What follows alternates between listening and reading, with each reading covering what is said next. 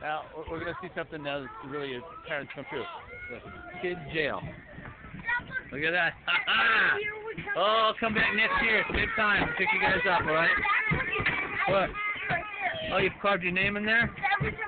All prisoners do that. That's a uh, okay. Well, you're you're just like all the other guys in jail and lockup. All right. See you next year, same time. Bye. And they were never heard from again. Get out of here before they get.